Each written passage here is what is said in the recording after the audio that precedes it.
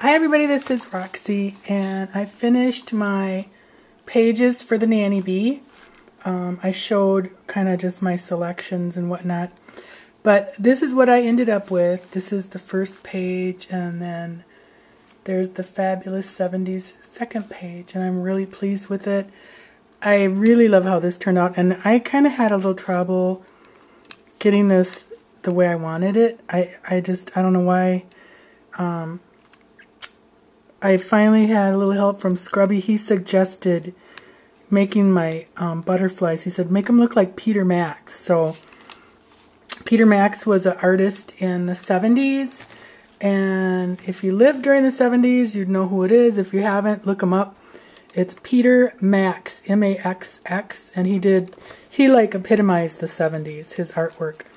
Um, and now um, anyway, so this is what I did. I The last I showed my chipboard, I had painted it brown and co coated it with um, spice marmalade crackle paint. Well, then I went and took all my um, Glimmer Mist bottles that I pulled out.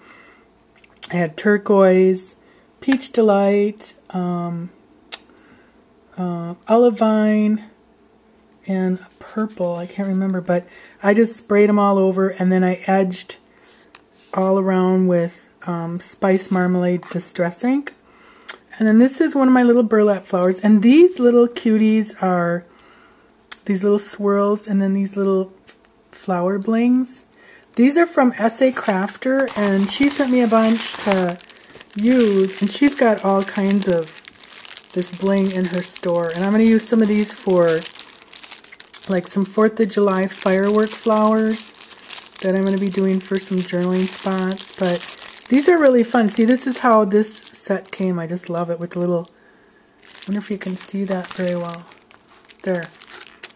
There. That should show up pretty good. So that's available in her store at Zibbet. It's S.A. Crafters, and she is, you can find her on YouTube, S.A. Crafters, and she has all kinds of links, and I'll put a link down below for her um, store.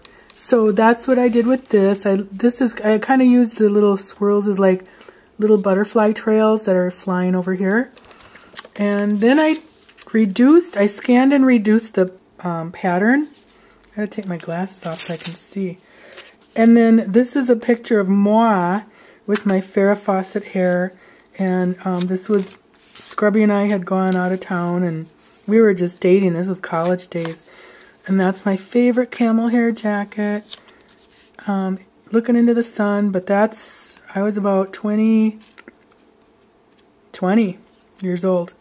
Um, so then I used um, some of the paper. This is that BasicGrey paper. I love it. And I just used the paper all over. This is a tag. Um, Maureen wanted us to put a tag in her book. And this is a Making Memories, Chloe's Closet. I think I'm too close. Um, but I'll read it. It's every child is an artist. The problem is how to remain an artist once he grows up. And that's Pablo Picasso. And then I threw out the flowers over here. I enameled some, um, or embossed, I should say. It's kind of like enameling. But I used Tim Holtz embossing distress on his flowers, his metal flowers, and Brad's. And then this is a grunge board from his Sizzix die, and then just some petals from my stash. And then on the back, I put a picture when I was 22, I think. And now, and there's a big difference. yeah. Same colored shirt, or top, blouse, whatever. Okay, then over here, um, oh, and then I found these really fun We Are Memory Keepers eyelets. They're glittery. They're really cool. Pretty flowers and then glittery. Okay, so this is um, a Just Chillin' Making Memories canvas tag that just says Fabulous. So I titled mine Fabulous 70s. Just some old thickers. I, I had some. I was going to paint them. And then I found myself at Archivers at the Mall of America. And I went into the thicker aisle and I thought, oh my gosh, those are perfect. Because I wanted to get some of those blues coming out, the turquoise. So then I took some of the paper and just ripped it and glued it down and threw some glimmer mist on. And this is what Scrubby suggested. Okay, see I have some of these metal flowers peeking out everywhere. And then these are little petaloos and buttons. I got some buttons on here. Little Brad and some all different flowers. This is a, ooh, this turquoise on the grunge board is gorgeous. And then I just, um, I did some Tim Holtz grunge board flowers and I embossed them with the, let me see. Yeah, I think it's a brocade. Sorry, I took my glasses off so I can see the through the camera here, but I can't see. this is all a blur to me. Okay, so, um, where was I? Oh, yeah. So the butterflies, I had um just in some of the lighter paper, and Scrubby looked and said, yeah, they kind of lose them. And he's really got a good eye for this stuff. I could never get him to sit down and do anything like this, but he's got a great eye for design and color. So he suggested, and this was cool, to do the Peter Max style. So, and he, this was all his idea. Cut paper, you know, I, I die cut the papers and then cut the papers in half. So the bottom paper is one paper and the top half of the butterfly is another paper. I don't know if you can see them. You kind of can see them, but didn't it turn out cute?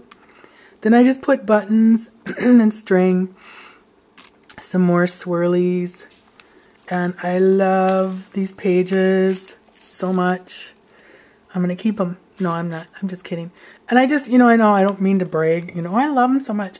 But, you know, sometimes we're so critical of our own work that when we see something we do that we really like, I say shout it from the rooftops because, you know, sometimes it's so rare because we're so critical. But, anyways, maybe you're not. I am. I just, you know, but I think actually being critical, I think that really pushes yourself to, to just do more and better and and I do want to say one thing about the travel log is, and any swap, it's not even just this swap, but any swap, um, it really is a great thing to get swaps from other people.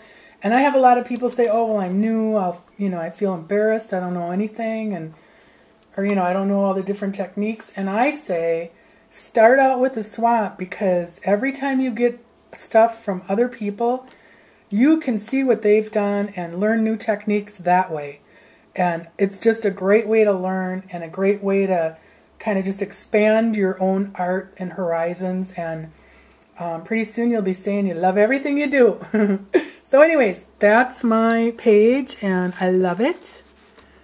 I love this one. And um, thanks for letting me share. Thanks. Bye.